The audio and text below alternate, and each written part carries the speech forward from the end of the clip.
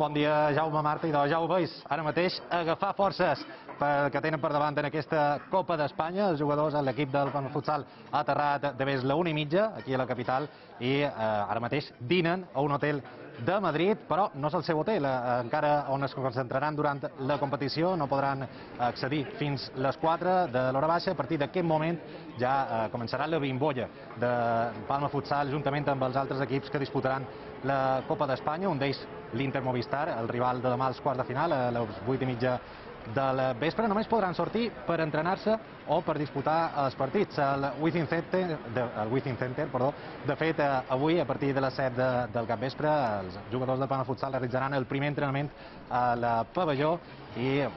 el gran dubte per preparar aquest partit davant del Movistar Inter és saber si Marlon arribarà al partit o no. És l'únic dubte que té Antoni Badillo a la seva plantilla. Amb ell, amb Marlon, hem parlat sobre aquesta competició i sobre el rival, aquí, el que coneix molt bé perquè és exjugador del conjunt madrileny. Ell ens ha contat com viuen els jugadors del Palma Futsal aquesta prèvia del partit i de la Copa d'Espanya.